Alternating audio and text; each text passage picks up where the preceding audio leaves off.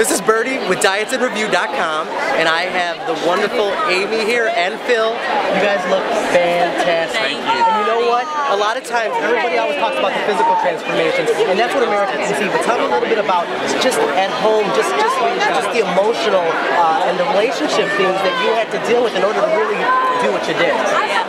I'm, I'm really thankful that we were able to do it together because, you know, I mean, I can't imagine not doing it with him because that would have been really, really hard. And we had to kind of stick together, you know, through this whole process, and our kids had to adapt and, you know, Did you see how close it was? Yeah, it was. Did you You know, how close it was? it, it, it was close. And, and tell me a little bit about that. I mean, really, what We was were- your initial reason for coming on the show? Oh, my initial reason for coming on the show was to. She actually, she needs to say this. Yeah, I actually drug him to a casting call because I knew that we needed to get healthy for our kids. You know, I mean, our kids, um, you know, they need their parents to stay around. And for in a my long heart, I wanted it. I just didn't know as much about it. But Amy got me there. And then we didn't realize how competitive we were until we got in this situation, until we got in this environment. And man, it brought it out in us.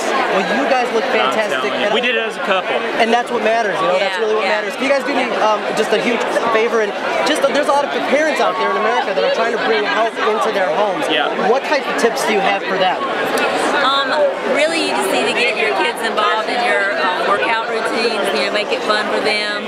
You know, I mean, you just need to give them healthy choices where food is concerned. And know, communicate yogurt. the value and the need of it to yeah, your kids. and I mean, model it. Model the behavior, and your kids. Modeling will, is number one. Follow. Communication is number two with the kids.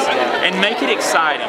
Because we got really excited about fitness and we want to be we want to be slim and, we, and they look at their mom and dad and see the changes that are happening in them. You have to do it And first. you guys, you Yeah. guys did it. I mean, you're up there. You look phenomenal. Yeah. Um, I am just so excited. I, I can't wait to hang out with you guys later. Yeah. You guys are so motivational. So many people. I've heard it, but the truth is, like sitting on the other end, it's so true. Thank you so much. Thank you, Bernie. Bernie with Diets In Review and Amy and Phil.